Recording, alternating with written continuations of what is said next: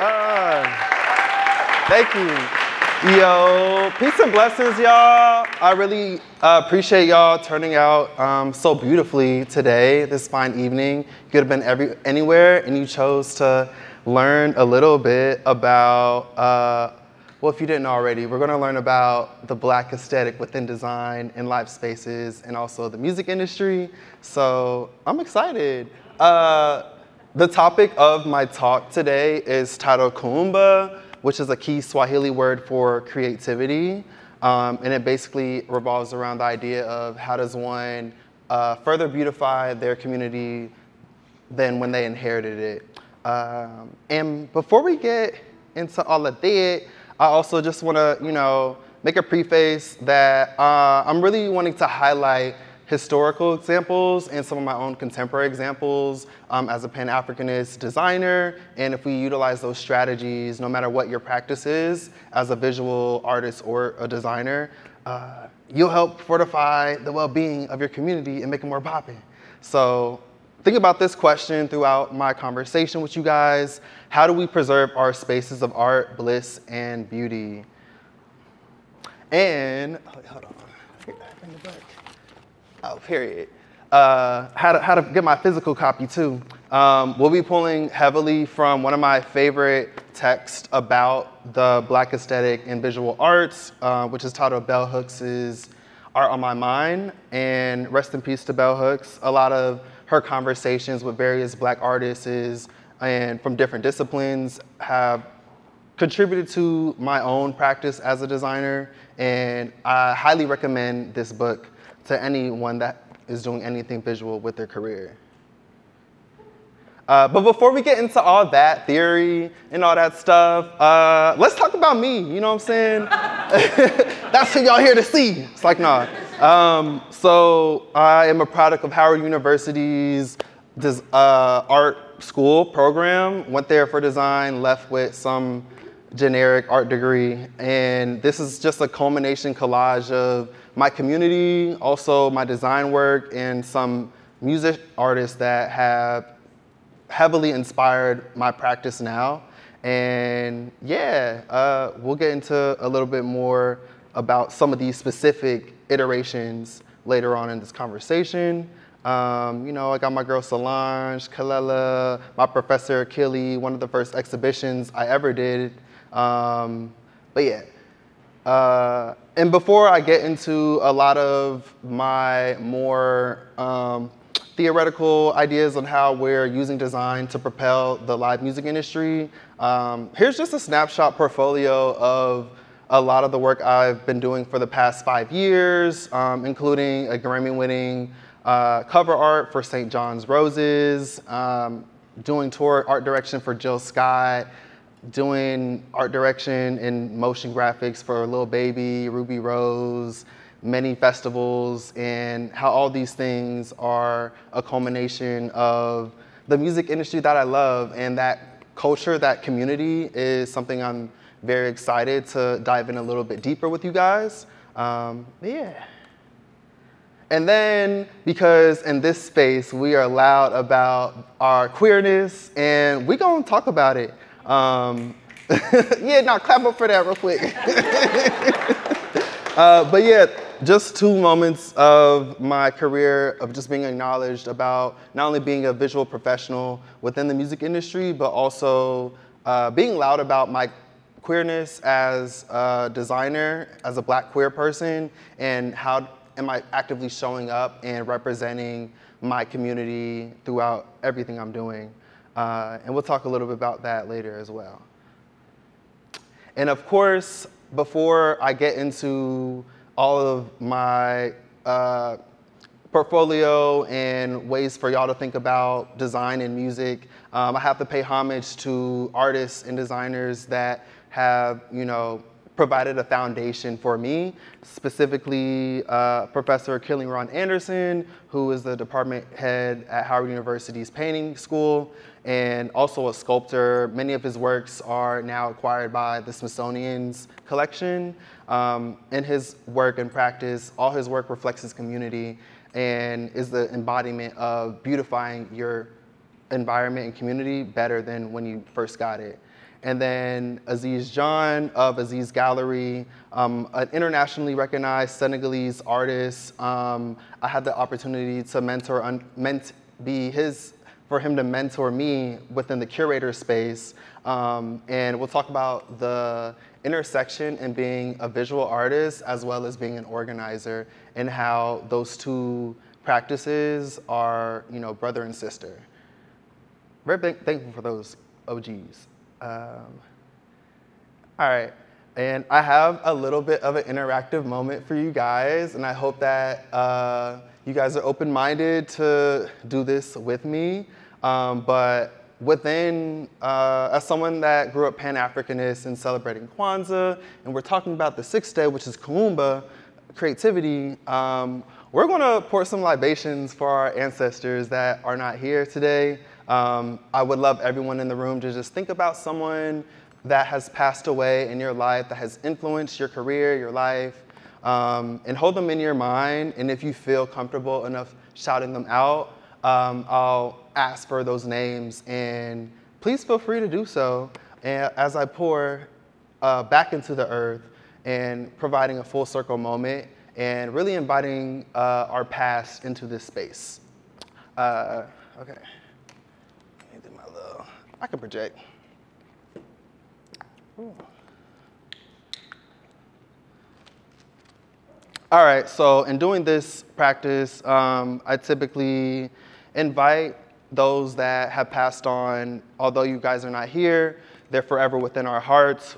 Um, we pour wa cool water to represent life back into the earth and offer a full circle moment for them to never leave us. Um, I'm first and foremost honoring my dad, Dr. Harry June, and as I pour, you respond with Ashe. Ashe. Thank you. And I'm also highlighting uh, Dr. Perry Kirkland and Betty Kirkland, who are my grandparents. Ashe. And I'm also going to honor Bell Hooks for honestly making my whole talk a lot easier. Ashe.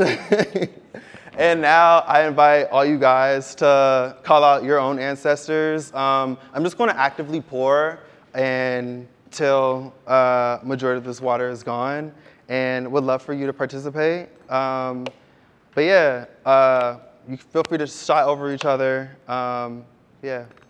Ella Maxwell. Deborah Fulton. Octavia Butler. Come on. Irene Blanton. Louise Stanley Wilshire. Malcolm X.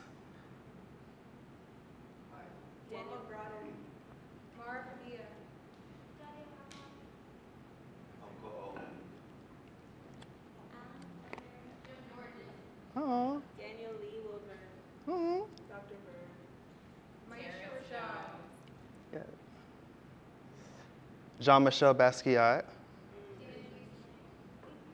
Um, any last ones? And then we finally pour for those known and unknown.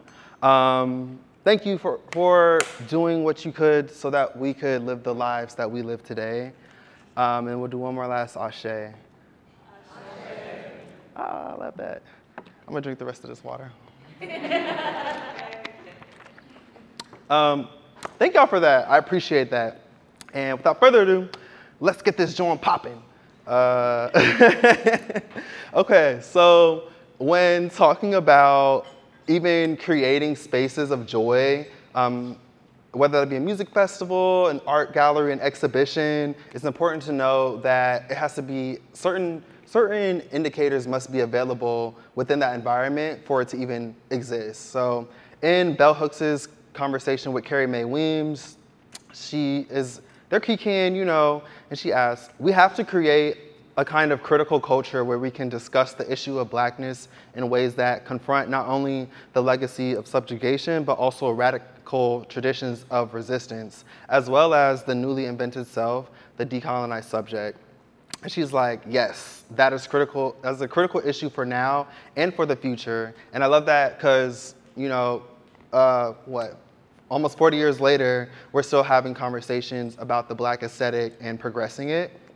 And a lot of what she's talking about is how are we actively inventing and making uh, our own aesthetic, whether it's in design, painting, photography, cinematography, better, and recognizing the, okay, in a certain communities, you may experience certain forms of oppression and how that contributes to the art, but being brave and loud enough to constantly keep creating more versions of the art. Because if you're not, you might be at risk of being erased. Oh, excuse me. And one of the reasons I really, before I even get into talking about, you know, music festivals and concerts and all the flashy stuff, um, I love how Carrie Mae Weems is able to contextualize the feeling that music gives you. And, you know, we all have that one favorite song we can't stop thinking about and listen to over and over. Um, and in her kitchen table piece, a lot of it does deal with blues and jazz and these very dynamic, very realistic uh, moments within her home with her loved ones. Um, you know, she's talking about, end quote, I'm very interested in ideas about blues and jazz, that expressive musical culture. That's where I function. That's where I get my shit from, my impulses from. If it's not in that, I'm generally not interested, right? I'm like, same girl. But how do you, again, use that? How do you know you listening to Muddy Waters, Bessie, and Billie? And when I read that, I'm like, how do I listen to Solange, Sexyy Red, and Kendrick Lamar and begin to construct a visual world that this music is being played in that's generated by culture that music creates. So in doing her kitchen table piece, it was always about how you construct it, how do you make a blues piece, what does that look like? And because of that emotional response you're talking about, that emotional sensibility is embedded in the work. And basically, she's talking about the challenge that I deal with every day in creating branding, creating worlds uh, that reflect uh, a music experience or reflect an artist's vision adequately and authentically. Um, and I love the way that, you know, even back in the day, we're constantly having discussions about how can we adequately visualize musical culture and also recognizing that musical culture is a direct reflection of that specific community. Um, and with that, I want to introduce uh, some of my favorite music festivals throughout history and let's get into a few things. Okay. So when talking about, first of all, I just love these ad mats. They're bold, dynamic, all that. Um, all three of these festivals happened in three different parts of the world, Wattstax in California, actually up the street at the Coliseum, Soul to Soul in West Africa, in Ghana, um, and the Harlem Cultural Festival in New York City all these festivals were at a very dynamic moment in the civil rights movement for black people and this constant urge to be loud about your representation and really creating a progressive space that is beautiful. Um, how are we archiving it? You know, look at the Wattstax poster, the Soul to Soul poster, the Harlem Cultural Festival poster. They all have a very similar color palette. They're essentially cousins, and it is a great representation of uh, the music and entertainment that black people create at that time. Um, and we're gonna have a little movie time. I wanna take, imagine we're in the late 60s, early 70s, and you're like, dang girl, I really wish I went to that Wattstax festival, and if you didn't make it, at least we have the video. All right. Uh, and also, while watching this, I want to invite you guys to pay attention to the fashion aspects, um, the hair, uh, even the way people are even talking in their vernacular and how that can contribute to design.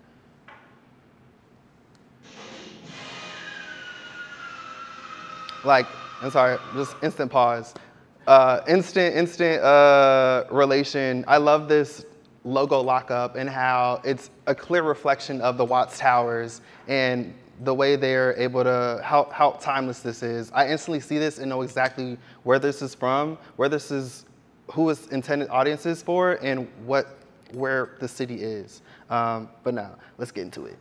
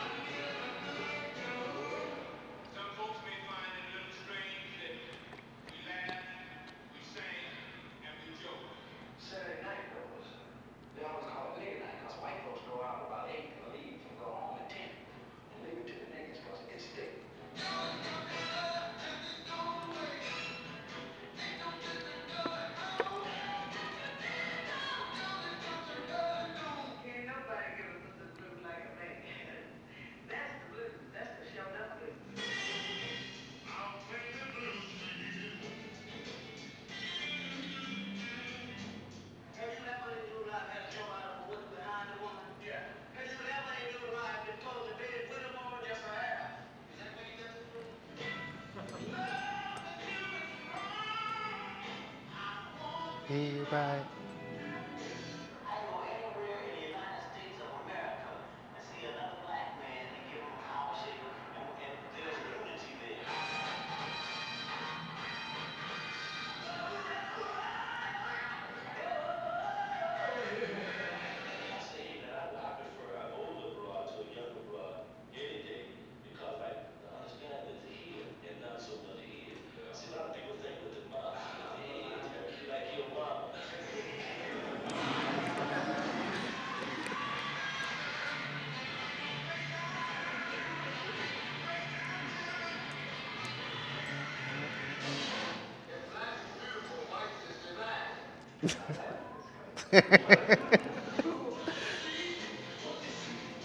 It's what you get.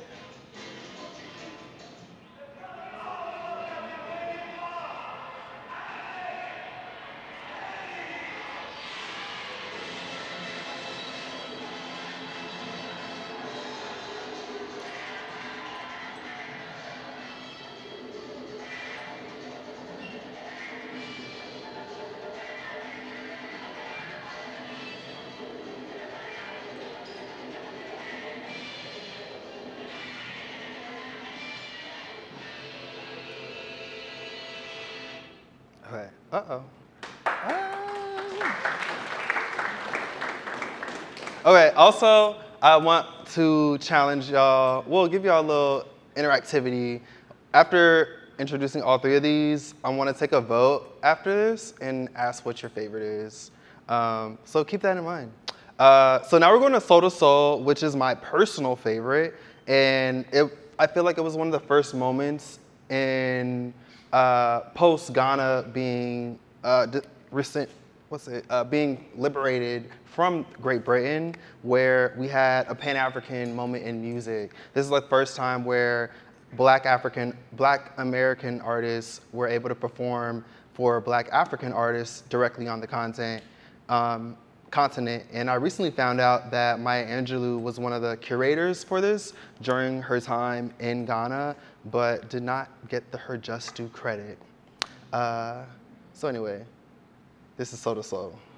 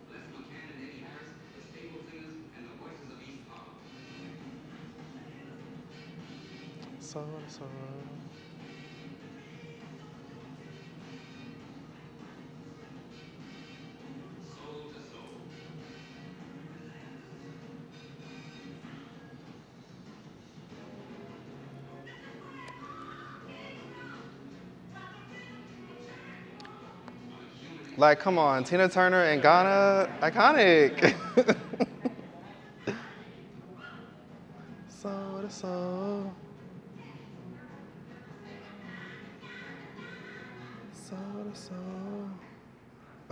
and then I want to go back to.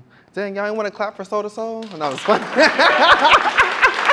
I'm just playing. Uh, it real, it real quick. Um, I want to tr- try to like break down even the importance of. This is actually from the vinyl of Soul to Soul, but the main ad mat could not find one that was good quality. But um, this is the ad mat is very similar to this, and I love how it's a direct uh, correlation with the Ghan- Ghana's flag colors, but then on the border that holds it together are the Pan-African colors of red, black, and green. Um, even at the top with the blue, we see like the Sankofa in the backdrop, and you know, just that intentionality in design, I think is really lovely and fabulous. Um, Okay, and now finally, we have the Harlem Cultural Festival, which was recently uh, uh, immortalized by Questlove of the Roots Crew, and I'll talk about my connection with that amazing band a little bit later in this presentation. But uh, let's get into the Harlem Cultural Festival, and then I want y'all votes.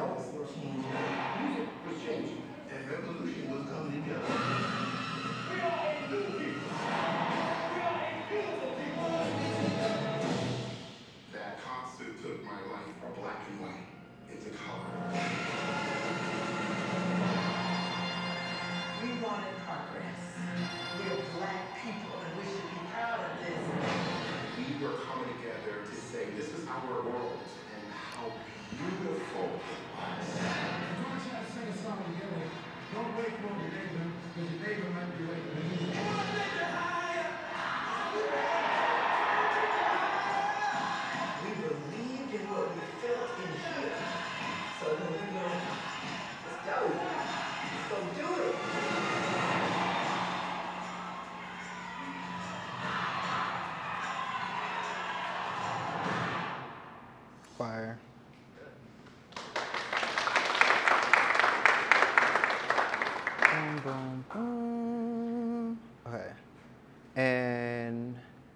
yeah, so just like summarizing all three of these, um, I think at the time this is a beautiful form of how black people, you know, very, very recently post uh, uh, gaining minimal civil rights um, and Ghana even liberating themselves from imperialism, how we're actively in a condition to create art.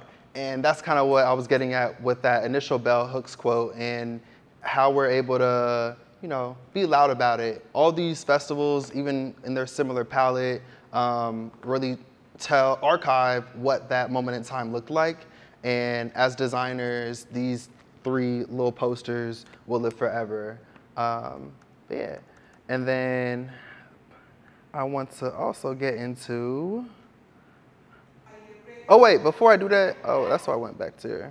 I want to get y'all votes. All right, just do show of hands. Um, uh, first and foremost, what's your if, if Wattstax was your favorite? Give me your give me your hands. Okay, wait, raise a little high. Question. Are we voting on the favorite poster? Oh, actually, that's a great question. Actually, I think when creating a progressive space, specifically for a specific audience, how let's let's acknowledge both the branding of the event, but also the actual experience itself. Um, yeah. Which yeah yeah yeah yeah yeah. Okay, Gina, I see you. Uh, but yeah, Wattstax. What, who, who I got? All right, one, two, three, four, five, six, seven, eight, nine, 10, 11, 12, 13, 14, 15, 20, 19, 19. All right, I'm gonna say like 20. All right, Soul to Soul. All right, one, two, three, four, five, six, seven, eight, nine, 10, 11, 12. Damn. Uh, all right.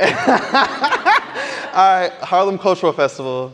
Ooh, okay. One, two, three, four, five, six, seven, eight, nine, 10, 11, 12, 13, 14, 15, 16. All right, oh wait, 17. Okay, all right, it was close, but Wattstax won it, you know. All right, but honestly, we're in California, so why not? Why not? Why not? Um, all right. Uh, now that I highlighted those historical elements, I want to get into some of my own work. Um, okay. Uh, also, thank you for participating in that vote situation. Um, and as we segue into some of my own work, um, I want to talk about where I get my influences from and really, you know, leaning into this idea of Sankofa, which is going back so that we can go in the future. Um, this was the art direction I did for Live Nation Urban and CNN's Juneteenth celebration.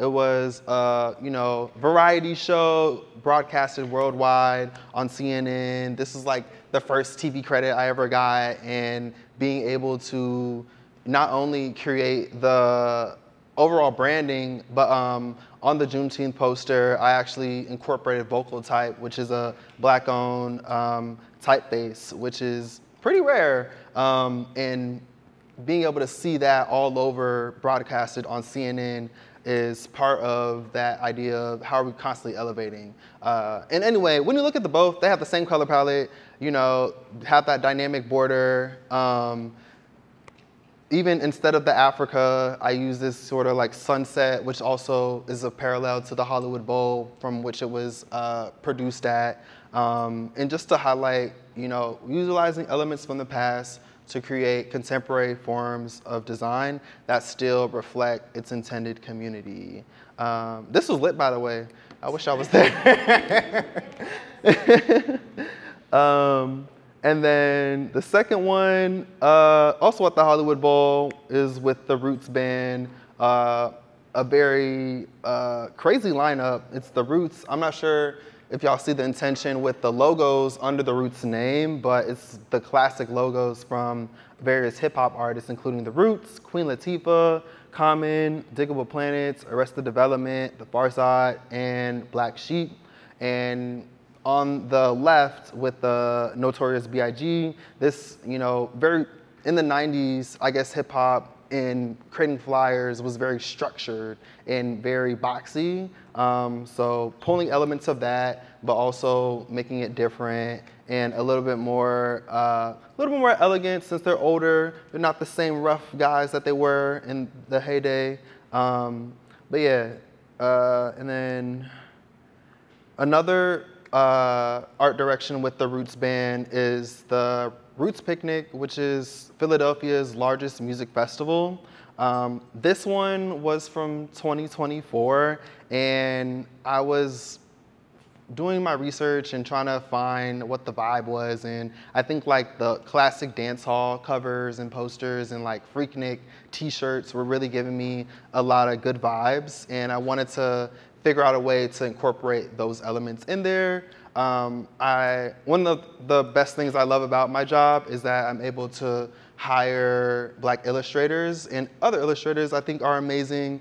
And this is, uh, I recruited um, the artist Bryson on Instagram. It's the art of Bryson and challenged him with reimagining, you know, some of those classic uh, moments from Freaknik and Dance Hall in the early 2000s and late 90s, and what does that look like for uh, a 2023 music festival in Philly.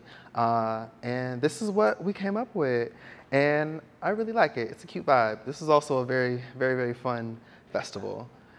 Um, and then lastly, I have uh, Mary J. Blige's Strength of a Woman Festival, um, which this was the inaugural year in 2022 in Atlanta. And this one, I uh, one of my favorite movies of all time is Waiting to Exhale, and a lot of uh, Terry McMillan's covers are, at least her original covers from like the 90s and early 2000s were very, very minimal and showed these almost like silhouettes and but very colorful at the same time um, of black women.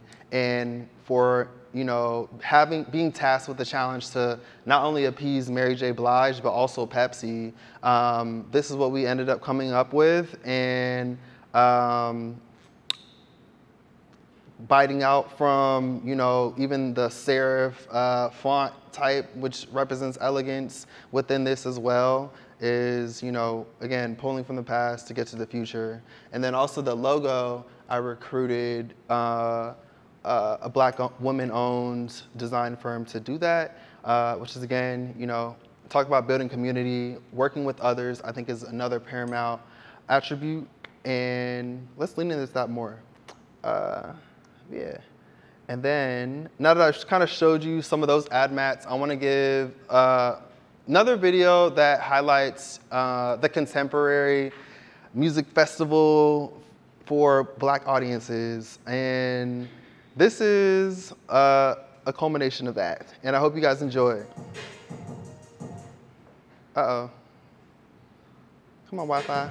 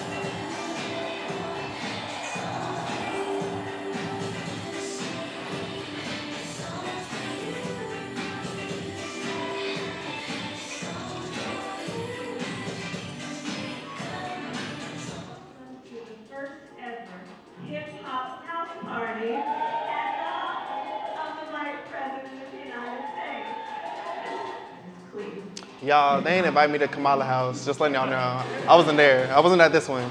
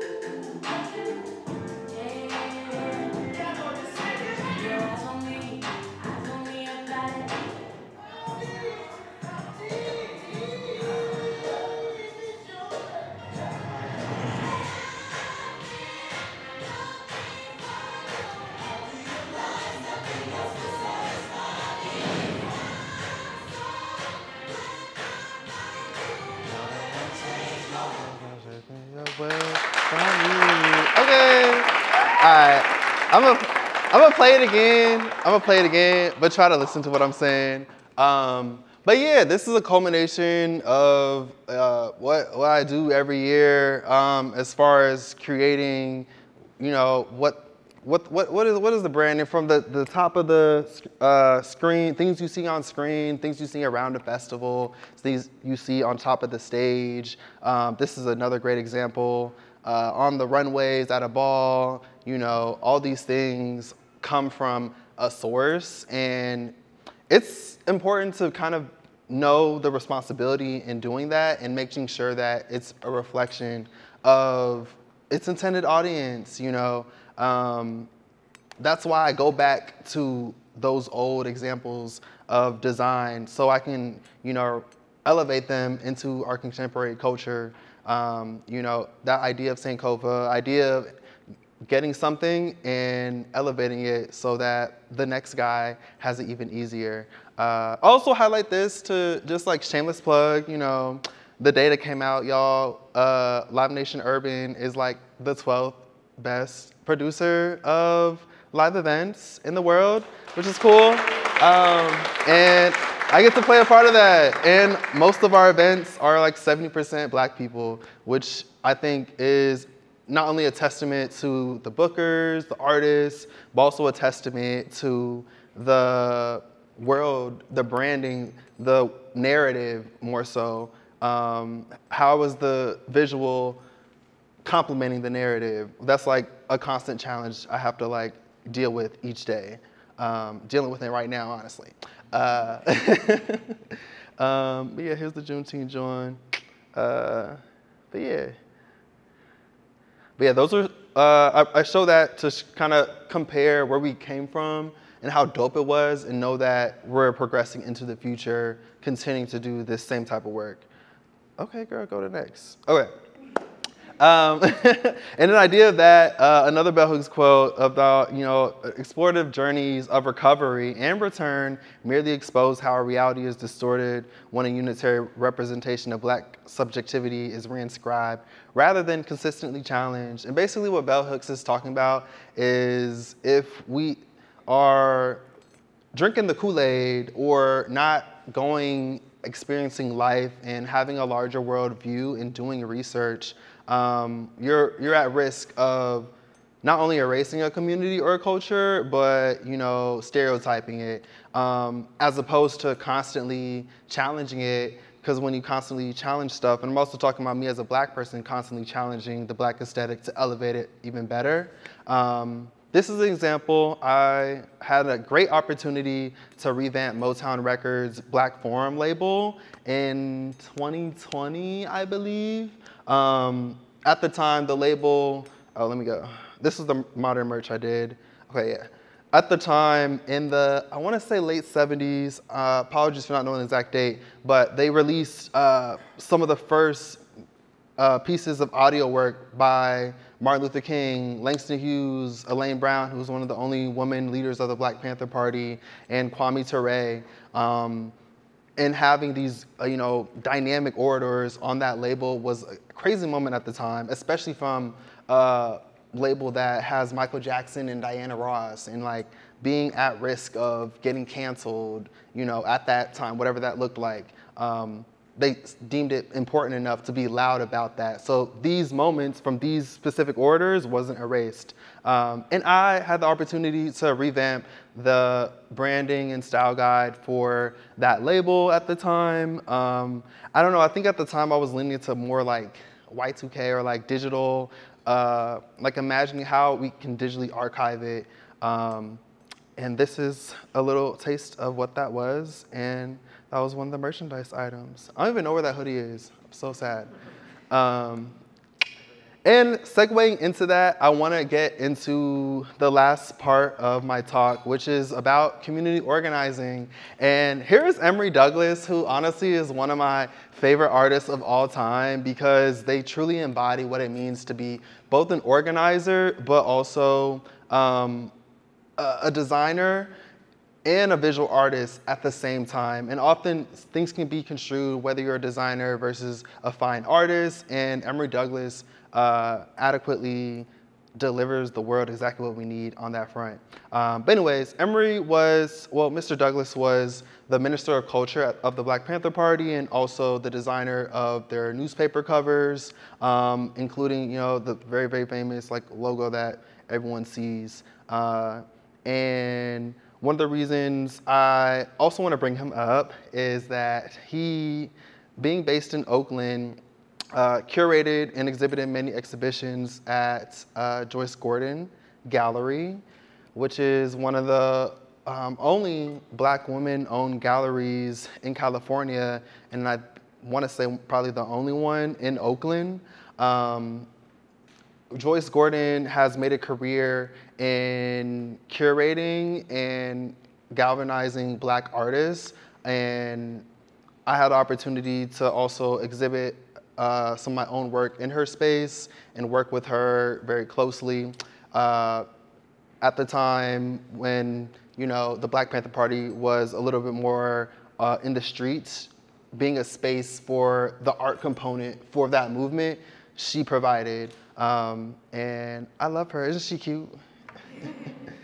uh, and then I also want to highlight Kumi James, also known as Bebe, um, who created a phenomenal party series called Hood Ray for black, queer, and femme people that love to dance. And one of the things I love about her experience that she creates as not only an artist herself and an organizer is her ad mats are beautiful and they're again the opportunity to hire black illustrators that reflect your community i think is so important and she delivers it every time i'll be there if you see me there y'all ain't see me okay um, and then uh, I also want to highlight Brandon McEachern and Marcus Allen of Broccoli City Festival, which you saw a little bit of those moments. And he's also in the back room. Thank you for coming, man. uh, but nah, I love this guy for many reasons, but I also love his attention to uh, and love for art and fashion within his organizing um, and not thinking it as an afterthought and really being uh, passionate and almost, um, you know, uh, you know, just being really passionate and selfish, honestly, about that design process. Um, another thing he, that I love about these guys is the importance of community and how collaboration over competition is a mantra you can always rely on.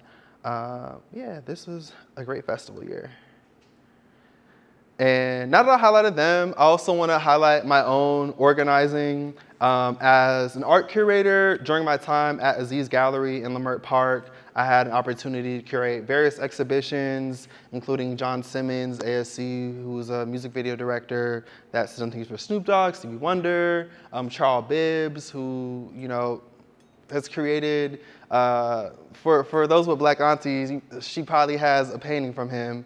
Um, and my first installment of that, however, was doing the Black Spectrum exhibition, which was really coming out of COVID at a time where I think we needed a renaissance at the moment. And this exhibition was exclusively black, femme, and queer artists from different uh, practices, including uh, illustration, design, photography, multimedia, collage, uh, and impressionism. And here's a little recap. And this was in 2021.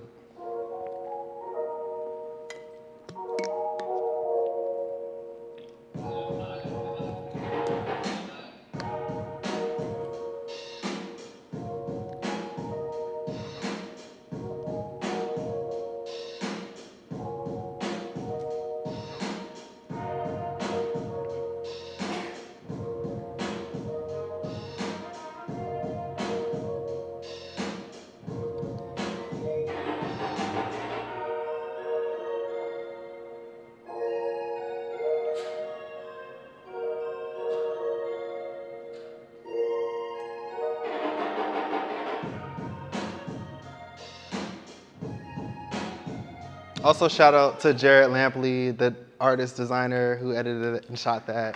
Um, yeah, thank you, thank you, thank you, thank you. Uh, but yeah, that exhibition was a very transformative moment for my own idea of organizing, and even the artists that I put in the show have become some of like uh, not only like admirers, but like closest friends. And this idea that, you know, the people you work with shouldn't just be a transactional experience, but fortifying a connection with someone that agrees on a similar goal or similar aesthetic, depending on what you guys are working on, is extremely important. And I encourage you guys, especially those in school, to build with people around you. You cannot do this alone. Um, and whatever that looks like for you, constantly reinforce that idea of you know community over competition.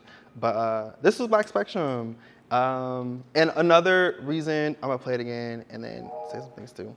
Uh, at this time, coming out of COVID and kind of feeling like we're hidden a little bit, I was toying with this uh, idea, this theory by Carrie Mae Weems, who wrote this uh, South of Pico text, which, which is a a, a, a, very lengthy text about um, black artists migrating from the East Coast to the West and how the different types of art and artists that came from that moment. Um, but one of the theories she has is that uh, dealing with, um, ooh, I forgot the quote, but basically dealing with the idea that within living in a dominant power space, how can we actively um, be invisible but in plain view and lie beyond that dominant power. Um, that was my little tagline: beyond the dominant power, but in plain view. Um, all these artists, uh, both established and emerging within this bunch, um, were per, uh, actively creating new aesthetics at the time, and at a time where we've been sheltered for a moment. You even see in the video, most people got masks on. Most people were, un- I mean, honestly, I'm surprised that many people wanted to come at that time during post-pandemic. Uh, but yeah, anyways, uh, it's important to not only create spaces for, hold on. Yeah, creating progressive spaces, not simply for art's sake, but truly out of necessity to preserve and progress our culture. Um, back on one of my new focuses, not new focuses, uh, but one of my focuses currently is about black queer musicians and black queer experiences. Um, I started Houses of Love at the end, at the mid 2021 and had pitched it to my boss about how can we show up uh, within the black queer community and create dynamic experiences for us, by us. Um, and last year, I've been able to produce five events in five different markets. And in doing that, you know, if I'm gonna work at, uh, you know, this, this 12 top producer of black experiences, how can I do that and not, uh, use that opportunity to create experiences for black queer folk because we are also black people. Um, and here's a little uh, recap of how that went down last year, and I hope y'all enjoy. Uh-oh. So this was a reel, so that's why it's vertical. Uh-oh, come on, girl.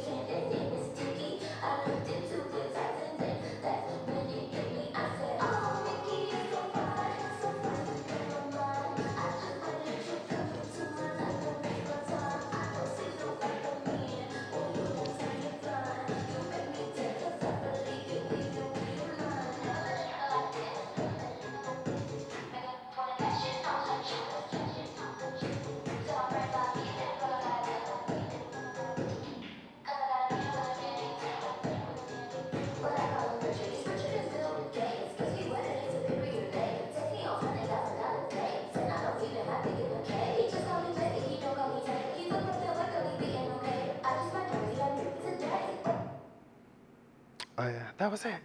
Um, so y'all better clap for that. Uh, but yeah, and and also doing this work, which is honestly passion project meets work project meets a bunch of other community projects. Uh, the aesthetic of that and the type of people that come into those space, um, I think creating moments for that is necessary. And the way we archive it, you know, I think it's important. Obviously, wish I had like a fancy video like my festival reel, but um, the way we archive our experiences is with uh, reels nowadays on social media, and how this is, you know, a modern art form of archiving. I think is, you know, important to honor it. Uh, and also through doing this, produce my most viral and most like famous design work ever. Are y'all ready? Are y'all ready to see it? Wait. This. I'm screaming. I'm screaming. But nah, uh, also, I really apologize to Mary J. Blige if she did not think this was funny. but designing, not only producing the experience of a ball with Mary J. Blige's team, but, you know, I designed the chop sign that Mary's holding. and that's iconic, okay? Uh, I don't need nothing else. Um, all right, y'all.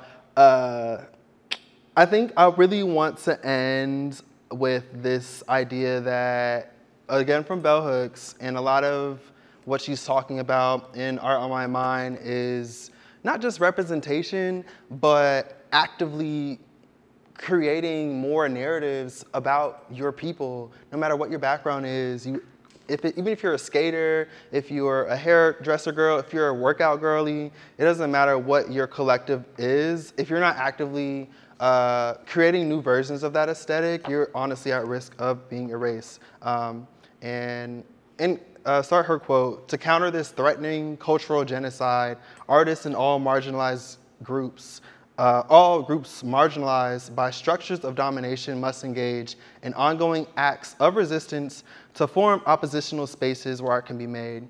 And she says oppositional, however, I truly think these spaces are progressive, beautiful, comforting, lit, you know, uh, spaces where art can be made. And here we can gain and sustain visibility and have more critical conversations about the work itself. You know, we all talk about, oh, uh, the Oscars or Grammys or blah, blah, blah was so white this year and we didn't have enough representation. However, within our own culture, we have the tools to have critical thought already. Um, yeah, final reflections, y'all. We're almost there. Uh, ooh, girl, good on time. As artists operating within this landscape, think about what ways does your practice contribute to progressive community building? And then again, the whole idea of Kuumba, how are you actively beautifying your community more than you inherited it? Um, yeah, I can't stress that enough. And sources, bell hooks, uh, Kellie Jones, South Pico Text, really, really, again, would encourage y'all to get on my mind, change my life. And that is the end of my talk, y'all.